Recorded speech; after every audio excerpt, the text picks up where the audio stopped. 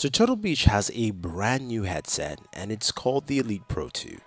The successor to the Elite Pro and I have it here, been using it with the Elite Pro uh, 2 and the Super Amp. Now this is the Xbox version, this is the Xbox and Windows version and then there's a PlayStation version which also works for Windows as well.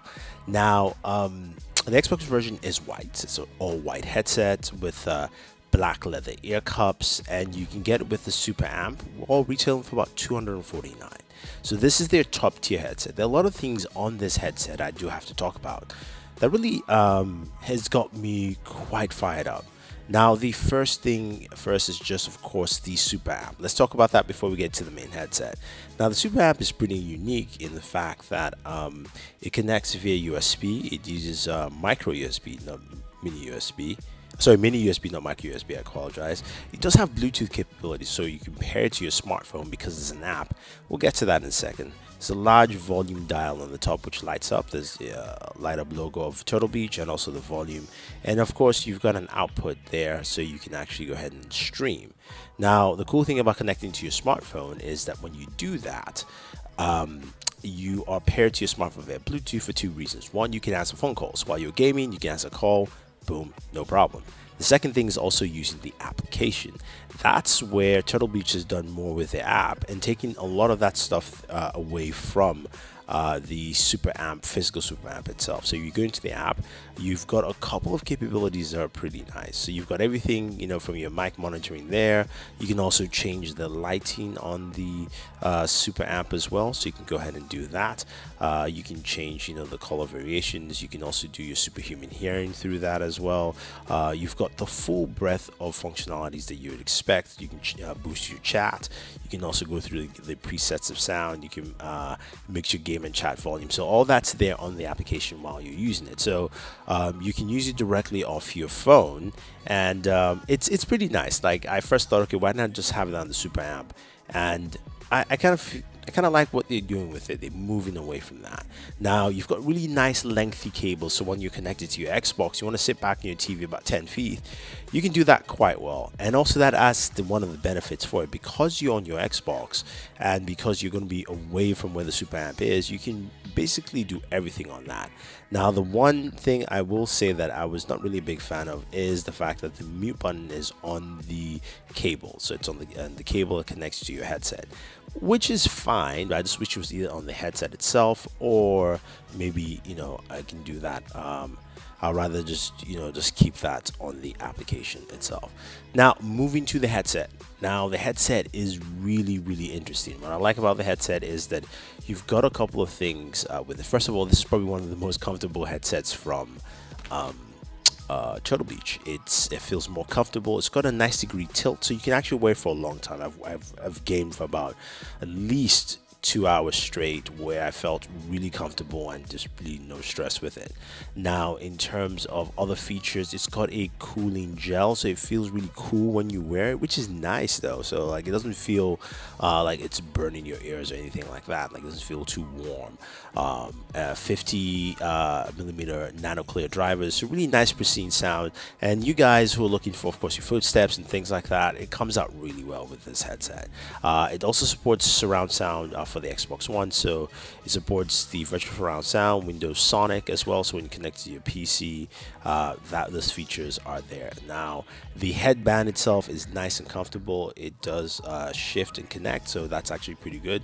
Uh, you've got this very um, different design. Um, nomenclature so one that allows for glasses relief so if you wore glasses you can actually go ahead and slide them into um, the sides there so you can wear them comfortably because there's enough spacing to allow your glasses to fit.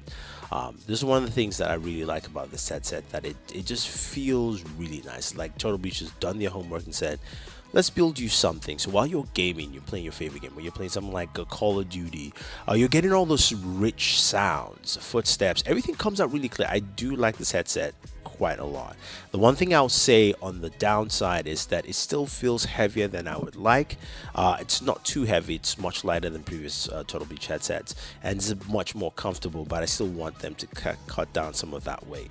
That being said, it is built very sturdy. You can feel the metal. So the around the top, it's solid metal. At least, uh, at least the metal build is really nice. The plastic build isn't one where you shake your head that it feels like things are rattling on the headset. Now, on your left ear cup is the connector for the microphone as well as also the uh, cable for uh, audio as well. Uh, now the mic, as you guys have heard it throughout this whole video, because uh, this recording has been done off the Turtle Beach headset, and now you can see me fully. I'm actually using this headset to record the audio, and I have to say though, I'm quite impressed. It blocks out a lot of background noise, uh, which is great because if you, especially if this is a pro headset, you think about tournaments and things like that, you want to take this with you. Uh, this blocks out a lot of noise, which is really, really good. I've also had it on, on phone calls. I remember the first time I set it up, and uh, a friend called me up, and I was like, "Oh, this is perfect. I can definitely test out the headset." Like, you know, and they're like, "What headset?" I'm like, "Can you hear me? Does it sound like a headset?" They're like, "No, it sounds like a regular phone call." So, it, it does a good job there. And I'm also using it on PC, and uh, I think it sounds really robust. Uh, uh, my air conditioner is kicked in, and I left it on for a purpose just to see if it actually um, interferes with the sound of this recording. But I think overall for me though, I do like what Turtle Beach has done here. I think they've really come a long way in changing some of the things. Now, I forgot to mention this also supports Dolby Atmos on the Xbox One. So if you're Xbox One user, I'm picking this up. Uh, this will go a long way. But I think a lot of people will like this headset because it brings a lot more to the table for what Turtle Beach has done. Uh, one thing though, I think they still need to drop down on weight but I think in terms of audio, they've done a really good job. And I also think um, um, they've also got, done a good job with the microphone as well. The other thing I would like them to change is also the volume. Now, the volumes are, uh, you can mess around with the EQs to get better sound volume, but I think the volumes are just a little bit too low. Uh, I think they can you know tune that up with the software update that's just my own preference though so i think it might differ with with other people but i like it Anyway, if you're looking for a gaming headset to pick up, I think this is one you can definitely go ahead and how out and pick up. This is the Turtle Beach Elite Pro 2, successor to the Elite Pro 1. Some of you will be thinking, why not uh, uh, another, you know, um, game DAC like they had, a really nice DAC with the EQ controls and all that. I think that was great. I really like that. and I think that was just more for the pro user, the you know the heavy gamer that goes to a lot of tournaments. That really works out well.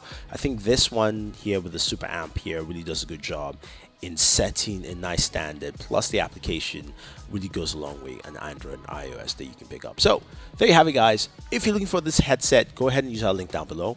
Otherwise, don't forget to like and share this video, favorite this video, subscribe to the channel, and always enjoy your entertainment.